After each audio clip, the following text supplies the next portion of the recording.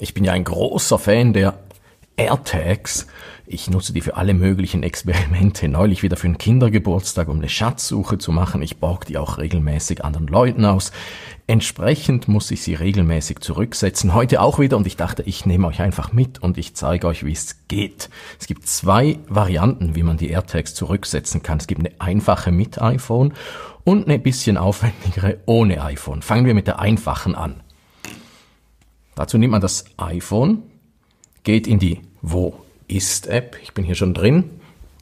Ist noch das Überbleibsel des Kindergeburtstags, ist noch als Schatz eingetragen, der AirTag, der da unten.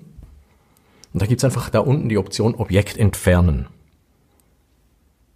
Von Apple ID entfernen, jawohl. Entfernen. Bling bling und er ist wieder frei. Und wenn wir ihn jetzt daneben halten, mal schauen, da kommt er schon. Das klappt wirklich so. Ich bin großer Fan der AirTags. Die funktionieren einfach so einfach und zuverlässig. Verbinden wir ihn wieder. Wir nennen jetzt Fahrrad. Akzeptieren. Fahrrad. Wir setzen ihn gleich nochmal zurück. Und das Fahrrad von Raphael ist gefunden und wir haben's. Was, wenn wir aber kein iPhone haben?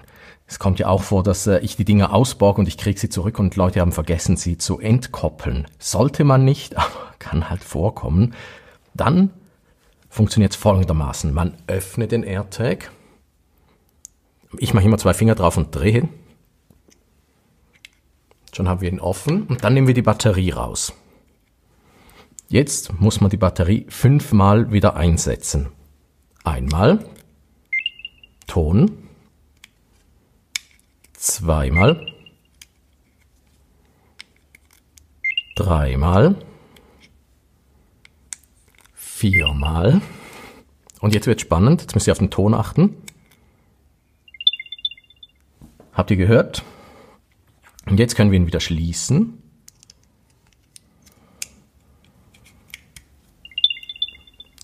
Willst du wohl? Vorführeffekt, jetzt habe ich es verklemmt. So. Jetzt ist er zu. iPhone wieder daher. Und jetzt müsste hier ein neuer AirTag auftauchen. Und das tut es. so einfach und in unter schon 10 Minuten, in unter 5 Minuten, ja, in äh, knapp 3 Minuten haben wir das vorgeführt. Ist wirklich sehr, sehr einfach, sehr, sehr zuverlässig. Hat natürlich ein bisschen das Risiko, wenn man seinen AirTag irgendwo verliert, dass ihn die Leute natürlich so auch zurücksetzen können. Da muss man sich schon bewusst sein.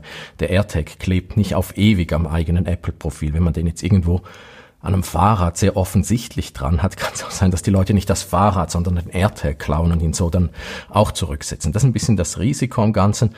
Oder wenn man halt irgendeinen AirTag auf sich findet, der, der nicht einem ist, der einem jemand runtergejubelt hat, kann man nicht nur die Batterie rausnehmen und ihn wegschmeißen, nein, man kann ihn halt auch zurücksetzen. Das ist, äh, ja, ist wie mit jeder Technologie positiv und negativ. Und man sieht ja auch bei Google und Apple, die ja jetzt äh, zusammenarbeiten, um das unerlaubte oder heimliche Verfolgen von Leuten mit diesen Trackern ein bisschen zu unterbinden.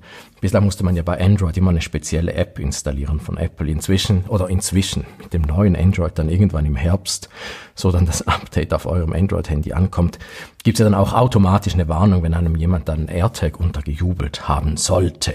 Aber in erster Linie sind sie einfach unglaublich praktisch auf Reisen und eben für lustige kleine Experimente. Falls ihr übrigens noch andere Ideen habt, die man mit den AirTags machen kann, immer unten in die Kommentare oder falls ihr Fragen habt natürlich auch, aber das ist jetzt heute mal ein ziemlich simples Video unter uns. Falls es trotzdem gefallen hat, Daumen nach oben, falls ihr findet, viel zu simpel, viel zu kurz, Raphael, Daumen nach unten. Und äh, falls ihr weiterhin so kurze Videos, nein, die meisten sind ja viel, viel länger, sehen wollt, dann Abo abschließen für diesen Kanal und dann sehen wir uns schon bald im nächsten Video.